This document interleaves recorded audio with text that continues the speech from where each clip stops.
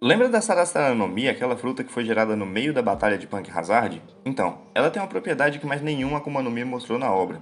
Isso porque ela é a única fruta do tipo Zoan que faz referência a um animal aquático, e não é qualquer animal, ela faz referência ao axolote, que é um animal que passa a vida inteira na água. E como o único usuário dessa fruta se tornou um animal irracional, nós nunca vimos o real poder dela, e talvez ela seja a única Akuma no Mi que não tem fraqueza contra a água. E nada em One Piece é colocado lá à toa, o que significa que a chance de nós vermos novamente essa fruta tão misteriosa é altíssima.